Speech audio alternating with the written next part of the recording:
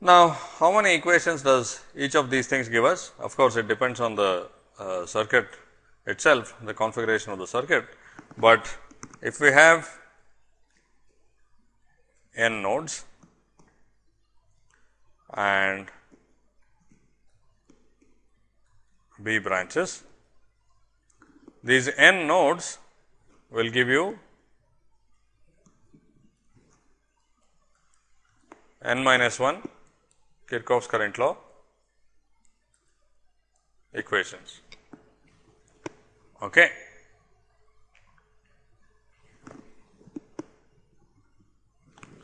Let us consider the same circuit again.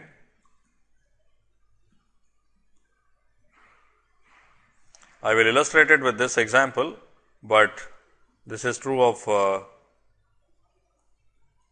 every circuit with n nodes. Okay.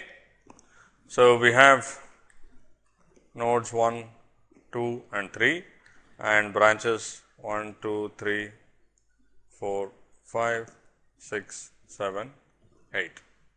Okay. We also have node 4 over here.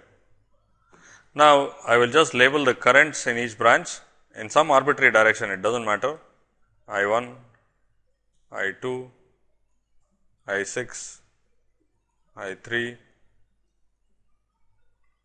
I 4, I 5, I 7, I 8. Okay. Now, we can write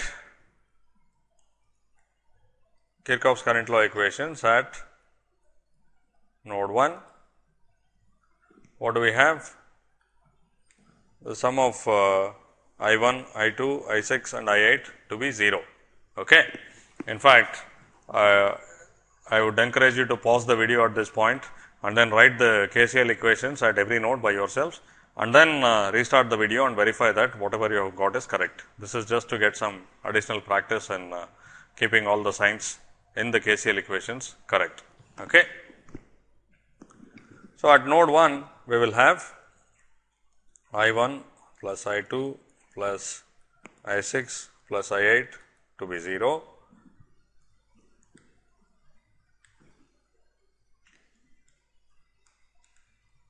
At node 2, I will again have the sum of currents leaving the node to be 0, which is I 3 minus I 6 plus I 7 equals 0.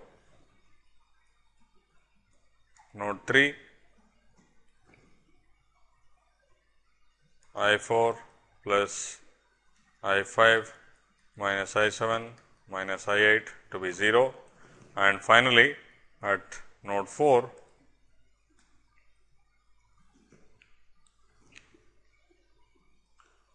we will take the sum of currents leaving the node which is minus I 1 minus I 2 minus I 3 minus I 4 minus I 5 to be 0. So, it looks like at every node we can write a KCL equation, but in this case let me consider the sum of uh, these three equations. Okay. I sum these three equations, what will I get? You can see that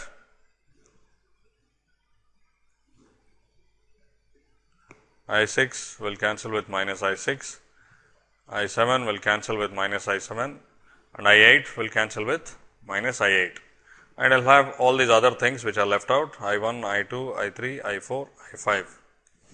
So, if I sum all these equations, I will get I 1 plus I 2 plus I 3 plus I 4 plus I 5 to be 0.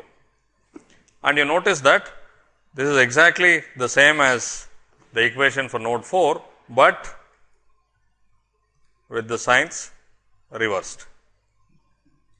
Okay. So, basically the fourth equation is dependent on the first three equations. We have only three independent equations. So, in general in a circuit with n nodes we will have only n minus 1 independent Kirchhoff's current law equations. Okay. Now, this is not a particular property of uh, this circuit.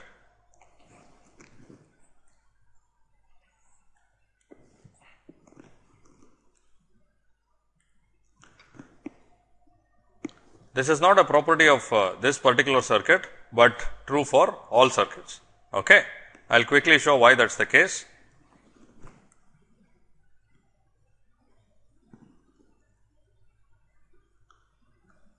Let me copy over this circuit.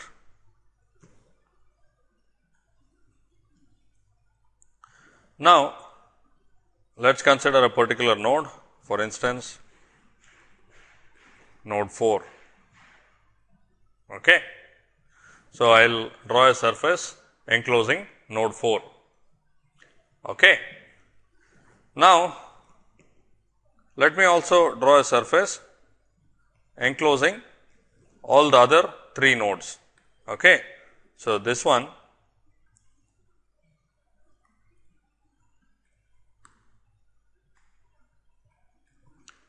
This one is a surface enclosing 3 nodes 1, 2 and 3. Okay. So, in general if you have an n node circuit you imagine a surface enclosing n minus 1 nodes. Okay. And this one here is a surface enclosing the remaining one node. Okay.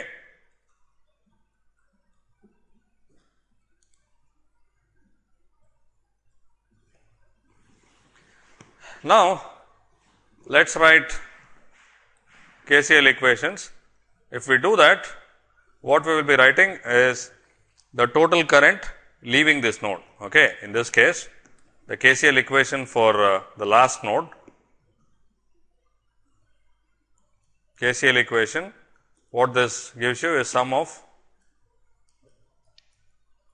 currents leaving this node. Okay.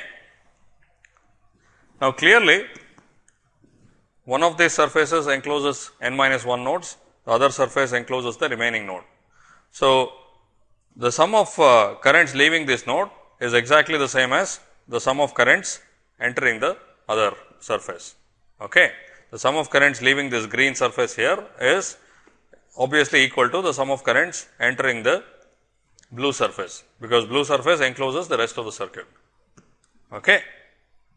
So, this also equals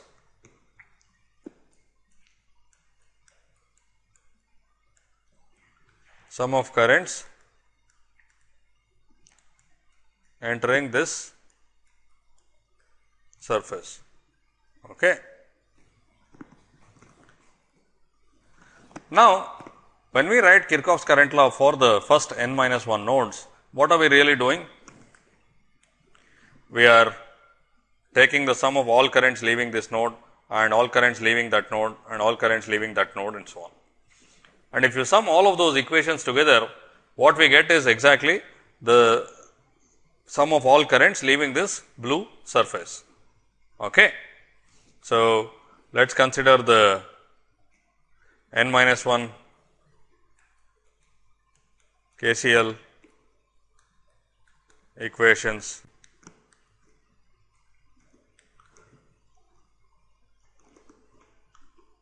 Then the sum of these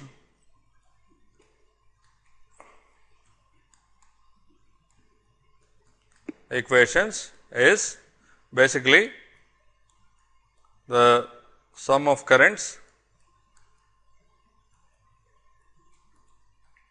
leaving this surface. By this I mean the blue one. Okay. So, that is because the n minus 1 KCL equations will have currents going between nodes inside the same surface. Those will get cancelled out because when you write it for node 1, it will appear with one sign. When you write it for node 2, it will appear with another sign. So, when you sum all the equations, the only things that will be left are the actual currents going out of this surface. Okay.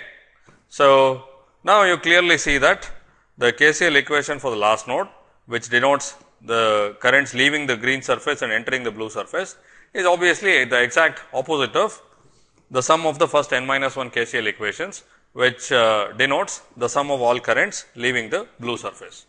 Okay. So, there are n minus 1 KCL equations. I hope that is convincing.